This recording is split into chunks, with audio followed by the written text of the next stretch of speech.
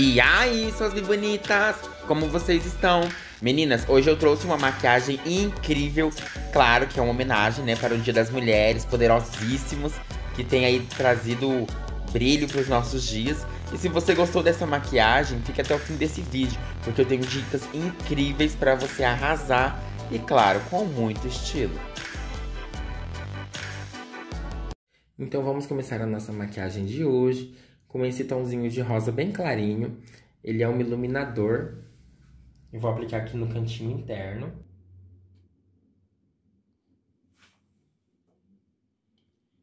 Vou concentrar bem a sombra no cantinho interno e o que sobra no pincel eu vou dar uma arrastadinha para cima da sobrancelha, até a raizinha. Já deixei a pele preparada e a sobrancelha corrigida. Agora eu vou vir com esse outro tomzinho de rosa, um rosinha opaco, bem pigmentado, e um pincelzinho para côncavo, um pincel pequeno. Vou colocar aqui no cantinho externo e eu vou levantar em direção à sobrancelha, para me ganhar um, um pouco de espaço de pálpebra.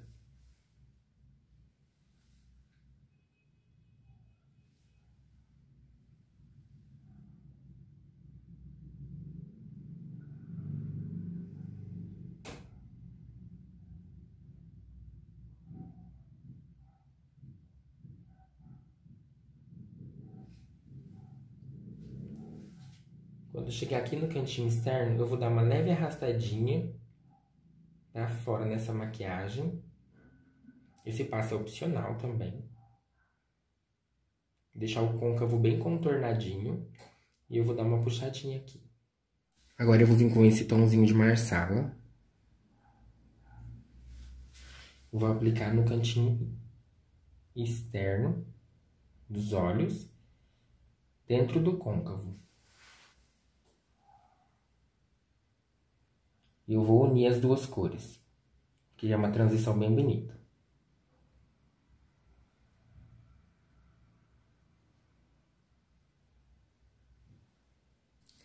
Agora eu vou vir com um pincelzinho para a sombra, macio, e eu vou pegar essa sombra dourada. Vou aplicar ela aqui no meio, na pálpebra, e vou arrastando para o cantinho interno. Só não pode cobrir a sombra iluminadora que nós passamos primeiro. As duas cores devem aparecer.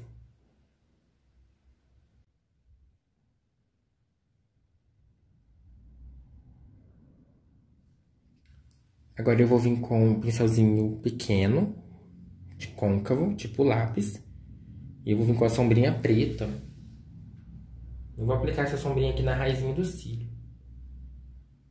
Eu gosto muito desse efeito porque eu acho que alonga um pouquinho e levanta um pouquinho o olhar. Quando chegar aqui no cantinho externo, eu vou dar uma esfumada e misturar com o tomzinho do Marsala que eu apliquei antes. E você pode ir criando camadas de sombra preta até ficar a tonalidade que você precisa.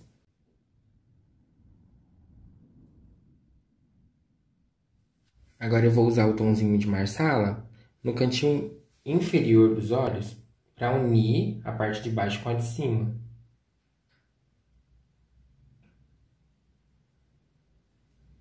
E eu vou fazer um esfumado até o primeiro fiozinho que tem aqui no cantinho interno do olho.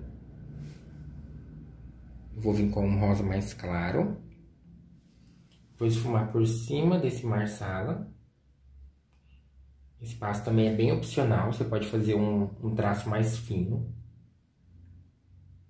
Mas eu gosto de um tracinho mais grosso. Eu acho que abre bastante. Vou pegar um pouquinho da sombra que eu usei para iluminar. Eu vou colocar na parte de baixo. E arrastar para cima da sombra rosa. E agora vai uma dica para você que tem muita dificuldade na hora de delinear. Eu vou usar o lápis preto para fazer o delineado da parte superior dos olhos. Vou fazer um traço, movimentozinhos leves de vai e vem. Eu vou deixar a raizinha do cílio bem pigmentada, bem pretinha. Porque isso aqui muda completamente a maquiagem.